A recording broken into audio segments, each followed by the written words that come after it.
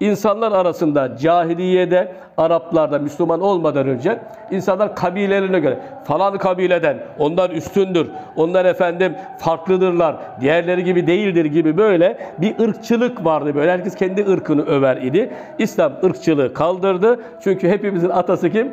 Adem Aleyhisselam. Hepimiz onun çocuklarıyız.